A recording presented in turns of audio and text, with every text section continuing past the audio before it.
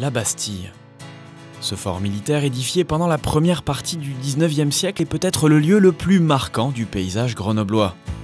Situé sur le mont Jala, classé en zone naturelle d'intérêt écologique, faunistique et floristique, le site est l'endroit idéal pour une vie d'abeille.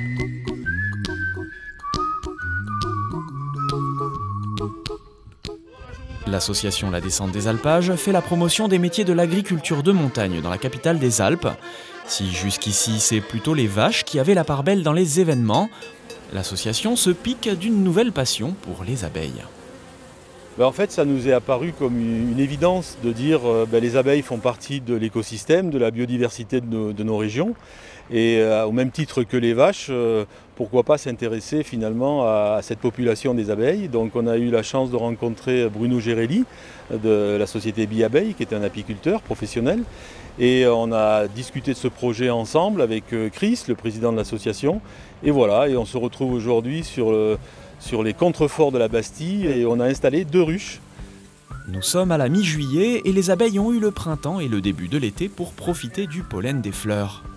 Bruno Gérelli, apiculteur urbain, sa compagne Corinne et Jean-Jacques Chabanis de la descente des alpages sont réunis aujourd'hui pour la première récolte de l'association. Alors aujourd'hui, on va faire deux choses. Euh, là, il y a deux ruches, elles ne sont pas au même stade de développement. Il y en a une dans laquelle on va regarder si son développement est, terminé, s'il y a suffisamment de, couvains, c'est-à-dire d'abeilles à naître, s'il y a suffisamment de provisions. Et puis la deuxième ruche, elle a, produit, euh, elle a produit du miel, donc on va faire la récolte de miel dans la deuxième ruche. Voilà, ce que je vous propose, c'est qu'on regarde le développement de cette ruche, voir où est-ce qu'elle en est, si elle s'est bien développée. Allez, un petit coup de fumée. Voilà. Alors, donc en fait, le contrôle qu'on va faire, c'est de vérifier qu'elles ont bien des provisions. Donc là, effectivement, on voit qu'il y a du miel operculé. Là, il y a du miel euh, qui n'est encore pas fermé. Donc là, ça a l'air bien. Et puis, on va vérifier également qu'il y a du couvain et que la, reine, que la reine a pondu. Voilà, magnifique, magnifique. Donc là, on a une plaque marron avec beaucoup de couvain, c'est-à-dire qu'il y a beaucoup d'abeilles qui vont naître. Donc là, on, est sur une ruche qui se développe, euh, qui se développe plutôt bien. Hein. Voilà, on va regarder. Et donc, on va parcourir l'ensemble des cadres, gentiment, comme ça. La première ruche est en bonne santé, mais à un niveau de développement qui ne permet pas la récolte du miel. La seconde, par contre, a produit plus que nécessaire. La ruche est conçue pour permettre à l'apiculteur de prélever une partie du précieux nectar sans toucher aux provisions nécessaires aux abeilles pour passer l'hiver. Il y a deux espaces différents dans les ruches.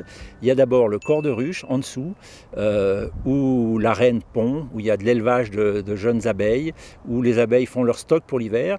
Et puis il y a les étages supérieurs euh, qui servent à l'apiculteur pour stocker du miel. En fait, les abeilles ont une caractéristique euh, assez particulière, c'est qu'elles stockent du miel tant qu'elles ont de l'espace.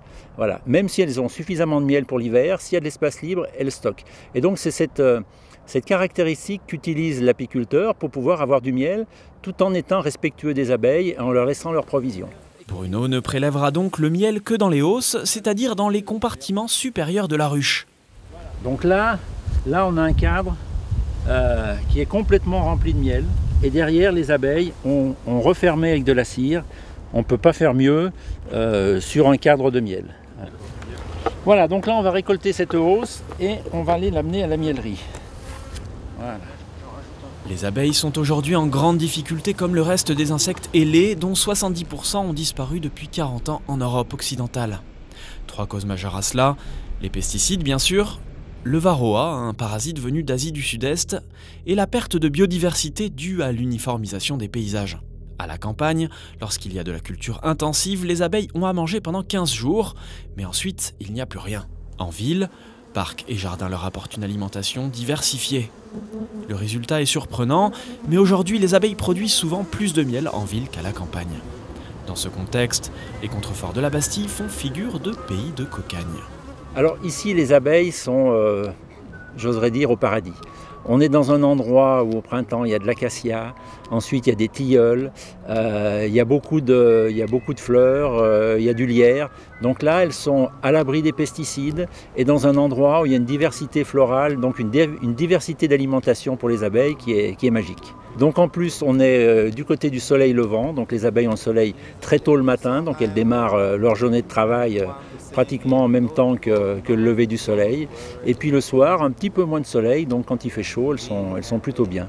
Voilà. Donc on est dans un emplacement idéal et il se trouve que cet emplacement est, sur la ville de Grenoble. Les deux ruches sont installées sur les terres agricoles du Père Gras, le restaurant historique de la Bastille devenu institution grenobloise. Pendant des décennies, ces terrains accueillaient des activités vinicoles et apicoles qui furent laissées de côté un temps. Sous l'impulsion de Laurent Gras, ces terres retrouvent leur vocation d'origine peu à peu. On a eu des, ruches euh, sur le, site de la Bastille euh, pendant des décennies.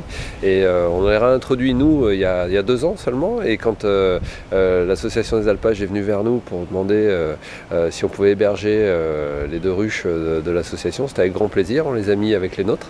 Et, comme ça elles ont un voisinage sympa. Donc c'était d'une logique voilà, vraiment amicale. Et c'est encore dans une pièce prêtée par le père Gras que la petite troupe va procéder à l'extraction du miel. Donc c'est en fait avec un couteau, tout simplement, on enlève la couche de cire en sciant comme on scie du pain, hein, pareil. Hein. Tiens, viens voir Jean-Jacques, tu vas pouvoir goûter du miel en rayon. Ah, retour en enfance. Voilà, regarde, regarde ce morceau. Là. Oh là là, non. Tout ça pour moi. Si, si, si. Ah là, j'ai l'impression d'avoir mes 12 ans euh, chez ma grande-tante.